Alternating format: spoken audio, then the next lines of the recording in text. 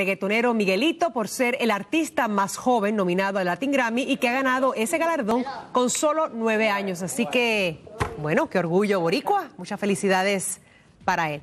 Un besito bien grande. Y así llegamos al final, pero nos vemos el lunes. Vero. Pásenla muy bien, disfruten el fin de semana. Yo les mando un beso enorme, sobre todo a ti, Bárbara. Hasta Besos. pronto.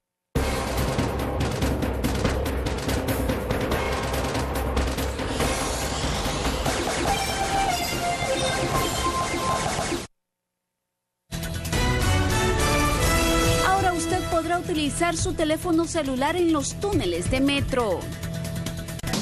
Y en Washington, 27 personas están bajo observación médica por recibir doble dosis de las vacunas H1N1. En breve le traigo el informe. Y en nuestro segmento de entretenimiento hablamos de teatro, conciertos, cómo pueden ganarse pasajes y por supuesto buena música.